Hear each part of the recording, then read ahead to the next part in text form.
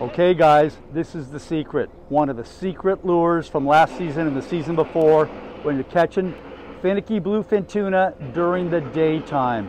Your 6X Junior or your 4.0 Tady 4.0 size jig in chrome. It doesn't have to have the blue on it, it can be all chrome. You can see that that one's gotten a lot of bites. Nice big heavy single hook. It doesn't sink as fast as the regular tuna jigs, but it sinks with a lot of flash and sometimes that's just the motion that they want a secret way to catch bluefin. It's not that much of a secret, but if you're, if you're ready with these, you can take advantage when the fish want them. See you on the searcher.